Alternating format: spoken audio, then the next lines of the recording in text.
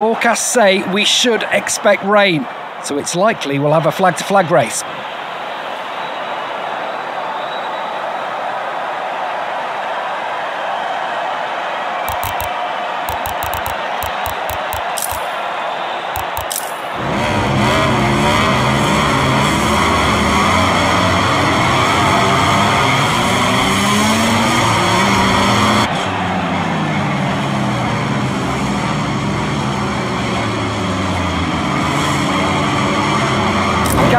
On here at the Red Bull Ring.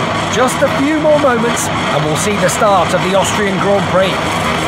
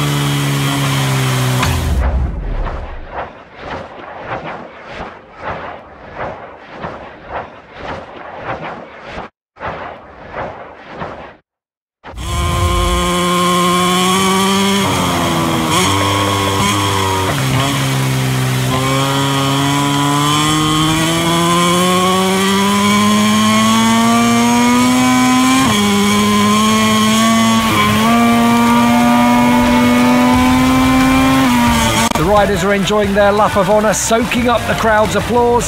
Let's take the opportunity to have a look at the MotoGP final classification together.